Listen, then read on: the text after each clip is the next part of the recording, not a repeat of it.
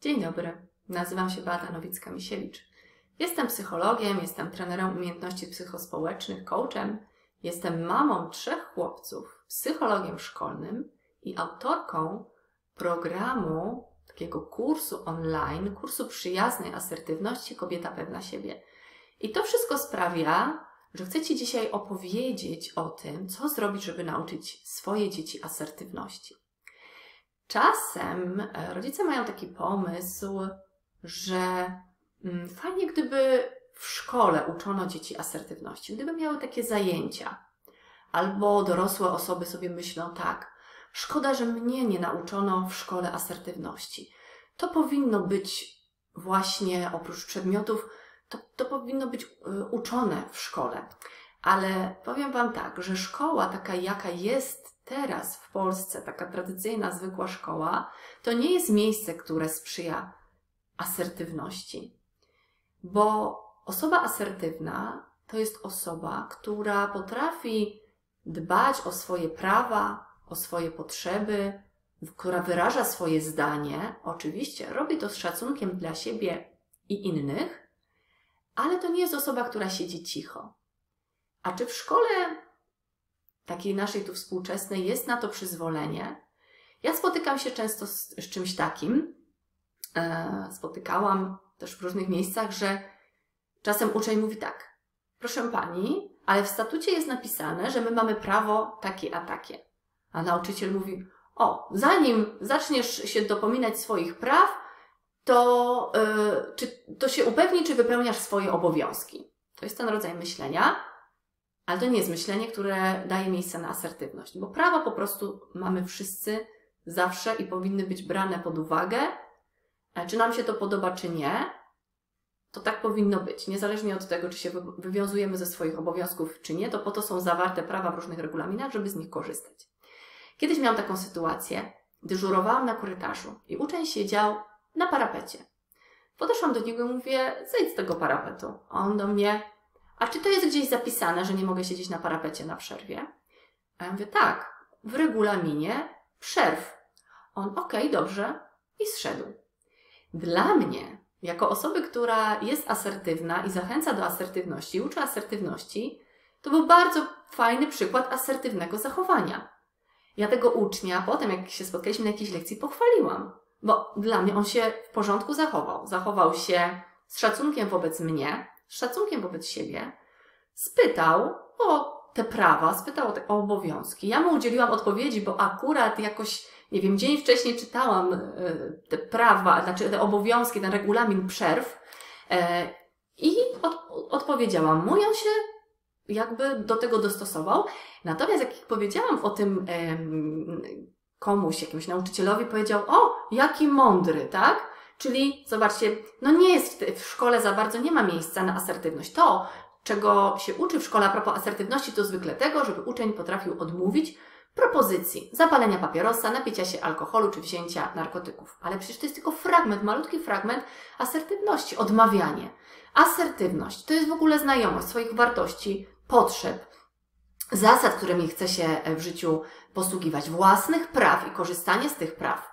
Asertywność to jest też proszenie o coś. To jest domaganie się czegoś. To jest niegodzenie się na coś. To pamiętam, że też przychodził do mnie uczeń, który się właśnie nie godził na to e, i wyrażał to jasno na lekcjach, że dlaczego pani zadaje nam e, pracę domową na weekend, jeśli jest napisane w statucie szkoły, że nie wolno. I on się tam wykucał i to był problem dla nauczycieli, bo podważał na, autorytet nauczyciela, a ja mówiłam bardzo dobrze ty jesteś osobą, która walczy o prawa i masz szansę w przyszłości e, e, coś ważnego zrobić dla ludzi, bo ty jesteś na ten temat, na tym punkcie uczulony, masz odwagę, tylko słuchaj, trzeba to robić z szacunkiem. Z szacunkiem nie tylko dla tych praw, ale też dla tego nauczyciela, tak? Bo nauczyciel, e, jak każda inna osoba, tego szacunku od siebie oczekuje, od, od innych oczekuje. W związku z tym, jeśli zabierasz głos na lekcji, odzywasz się, to zrób to w kulturalny sposób i wiedz, kiedy też się wycofać, żeby sobie nie narobić kłopotów, nie? Bo nie jest to potrzebne. Natomiast to jest bardzo fajny potencjał, tak? Więc ja mam w sobie tą gotowość. I teraz pytanie, czy ty, nauczycielu, czy ty, rodzicu, masz na to gotowość, żeby Twoje dziecko właśnie takie było, żeby było asertywne. Bo dzieci z natury są dosyć asertywne. One nie mają problemu, żeby powiedzieć nie. Nie pójdę, nie posprzątam, nie odrobię lekcji. Z tym nie mają problemu. Nie mają problemu, żeby prosić. Zrób mi picie, zrób mi jedzenie, mama daj mi pieniądze, e, daj mi swój telefon. Nie mają problemu, tak? Nie mają problemu, żeby się przeciwstawiać i tak dalej. Ale czy my rodzice mamy na to gotowość? Jest taki mem, um, trochę ironiczny, który mówi tak: Dziecko w przyszłości chce, żebyś był samodzielny i odpowiedzialny i asertywny, ale teraz masz być posłuszny, masz słuchać, co ja mówię, masz nie mieć swojego zdania. No to nie ma tak. Z posłusznych dzieci, grzecznych, które siedzą cicho, nie wyrosną asertywni dorośli. To właśnie teraz dzieci ćwiczą swoją asertywność. Ćwiczą siebie, swoje wyrażanie swojego zdania, swojego niezadowolenia, e, odmawianie, proszenie, e, też walkę nieraz. Ćwiczą to i zwykle ćwiczą na rodzicach. Na rodzicach testują, dlatego my najwięcej obrywamy, a szczególnie mamy. Tak. Na mamach dzieci test, testują, gdzie są granice. W związku z tym, jeśli chcemy uczyć dzieci asertywności, to przede wszystkim w domu, przede wszystkim w domu i przede wszystkim swoim własnym przykładem. I też tu opowiem Wam taką historię właśnie z mojego życia, bo ja jestem mamą, mam trzech chłopców. Chłopcy mają 4,5, 7 i 10,5 na tą chwilę. Więc absolutnie praktyka w naszym domu odbywa się każdego dnia. I taki przykład, który daje mi dużo do myślenia. Mój średni syn e, ma afazję, to znaczy ma duże kłopoty z mową.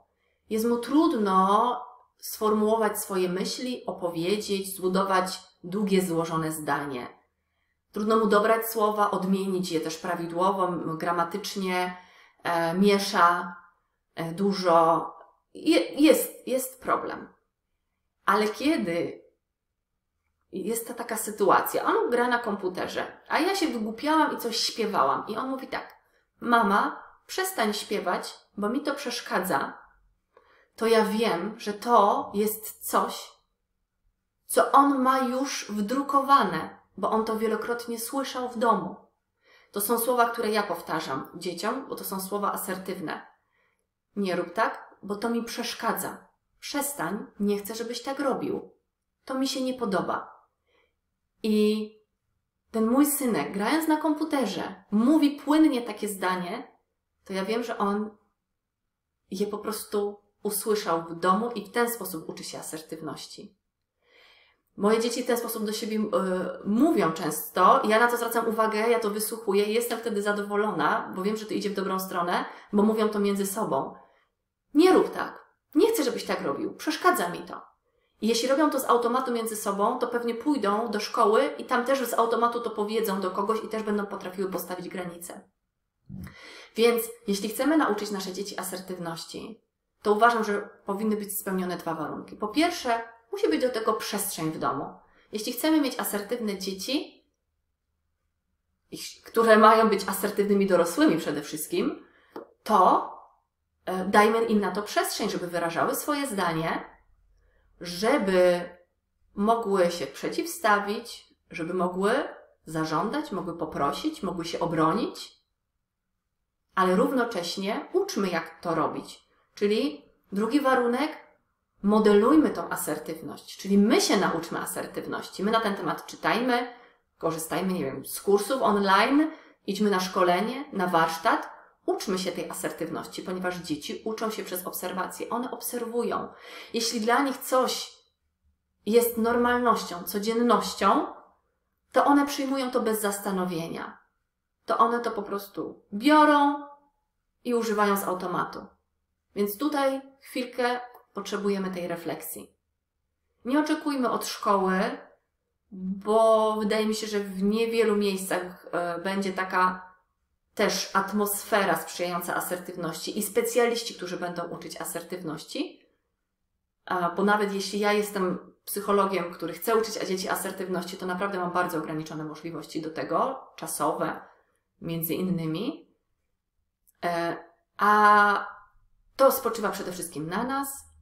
Poddajmy refleksji. na ile my jesteśmy asertywni. Bo asertywna osoba to jest nie, to nie tylko używa asertywności, ale też daje innym prawo do używania asertywności. I asertywność to jest bardzo dużo różnych, pożytecznych, przyjemnych, potrzebnych, nawet fajnych e, umiejętności, które pomagają nam budować dobre relacje z innymi ludźmi i dobre relacje z samym sobą. Z szacunkiem dla innych, z szacunkiem dla siebie. Dbamy o prawa swoje z uwzględnieniem praw innych osób. To jest definicja asertywności. Ja mówię o przyjaznej asertywności, o życzliwej, o zdrowej, ale najważniejsze to dobrze zrozumieć, czym jest asertywność. Nie jest egoizmem, nie jest arogancją, nie jest egocentryzmem.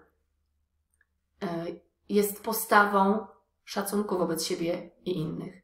Jeśli masz ochotę więcej się na ten temat e, dowiedzieć i to, co ja mówię, intryguje Cię, inspiruje, przekonuje, zaciekawia, chcesz więcej, prowadzę grupę Przyjazna Asertywność dla kobiet, dla kobiet. E, ale też na blogu udostępniam e, od czasu do czasu artykuły w tym temacie, nagrania na YouTubie. Można pobrać bezpłatne materiały. Kobiety też zapraszam do kursu przyjaznej asertywności Kobieta Pewna Siebie, która, który jest takim programem, w którym ja właśnie przeprowadzam krok po kroku przez e, taką przyjazną asertywność.